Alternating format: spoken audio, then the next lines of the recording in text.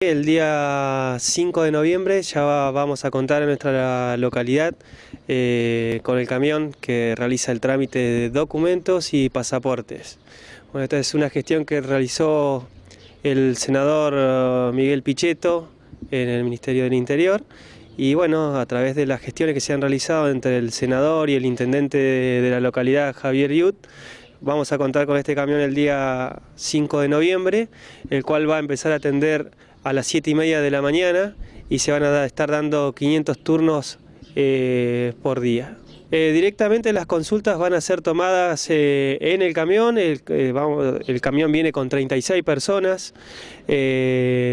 los trámites que se realizan son del DNI, el nuevo DNI, el pasaporte y bueno, en el caso de los trámites menores tienen un costo de 35 pesos, el caso del pasaporte va a tener un costo de 400 pesos eh, y las consultas van a ser todas evacuadas eh, en el camión, es decir, tienen gente que ya directamente se, se dedica a este tema de consultas. El camión va a estar, de, viene el 5 de noviembre hasta el 8 de noviembre inclusive.